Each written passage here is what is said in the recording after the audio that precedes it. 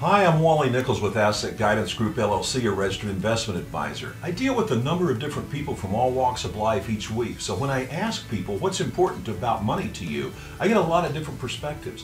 Frequently, I get the skeptic who views what I do as competitive with what they have. More often, that person turns out not to be a true skeptic.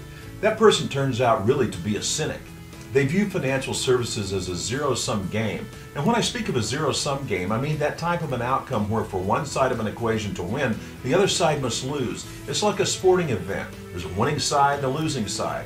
Many people view financial services as a zero sum game. They think of a salesperson who's pushing a product or a decision onto them because it's in the salesperson's best interest that they buy the product or engage in the offered services instead of being in their own best interest. From this perspective, that person views the proposal as them losing something and the salesperson gaining something. So see, it's purely a transactional viewpoint, one that comes from the cynical perspective that for one side to gain, the other side must lose something, a zero-sum game.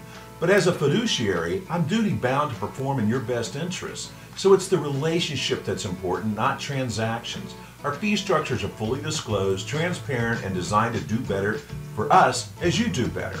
See how we've moved beyond a zero-sum game into an additive equation?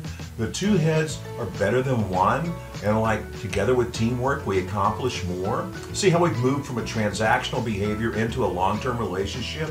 Often there are those who get the big picture and understand that making the equation a win-win creates synergy and creates more for everyone because a rising tide lifts all ships.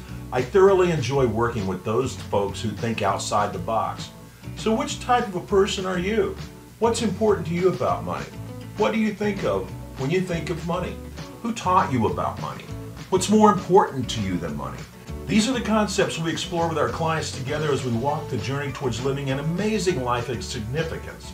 Helen Keller said no pessimist ever discovered the secret of the stars or sailed to an uncharted land or opened a new heaven to the human spirit. So give us a call or shoot an email to schedule a discovery meeting to learn our wealth management formula and process. And like our other clients, you'll sleep well knowing your money's well managed and enjoying prosperity as the tides ebbs and flows.